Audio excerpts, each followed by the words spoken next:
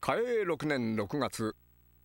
長きにわたって鎖国を続けてきた日本はペリー率いる黒船艦隊の来航によって開国か戦争かという苦渋の選択を迫られる。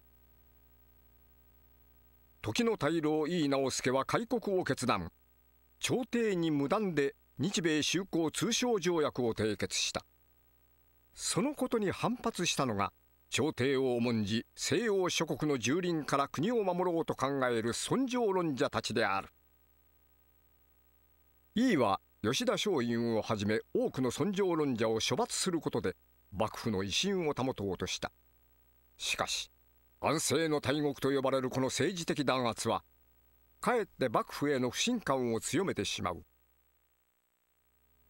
万延元年3月幕府に対する不満は暗殺という形で噴出する。水戸老氏を中心とした暗殺団が結成され途上途中の井伊を襲撃したのである。その乱戦のさなか遅れて駆けつける一人の若者の姿があった。弱敗ゆえに一段から外されたもののどうしても同志と共に戦いたいという思いを抑えることができなかったのだ。今まさにこの若者は激しい時代の流れに飛び込もうとしていた。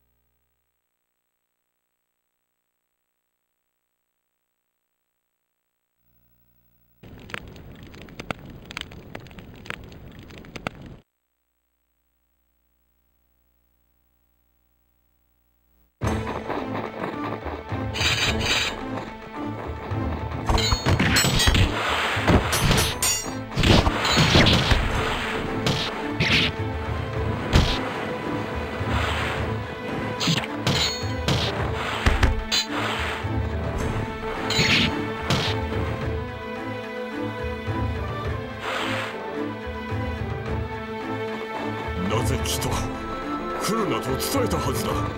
俺もみんなの役に立ちたいんです。帰れ。お前はまだ若すぎる。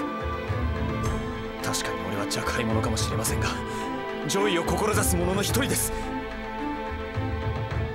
何より黙ってみんなを見送ることなどできない。お願いします。決意は固いようだな。いいはカゴの中だ。行くぞ Thank you.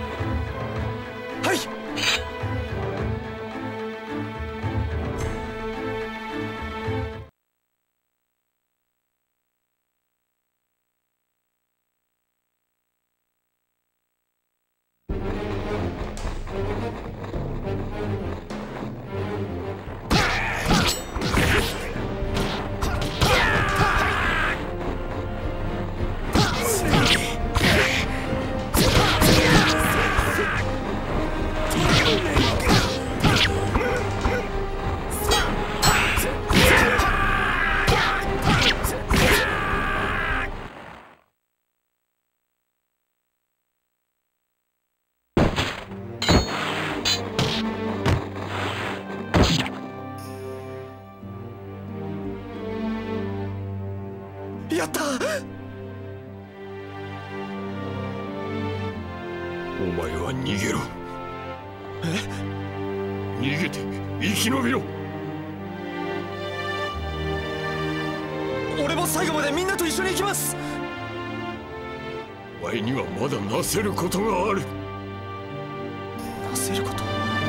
一体俺に何が？それはお前自身考えることだ行け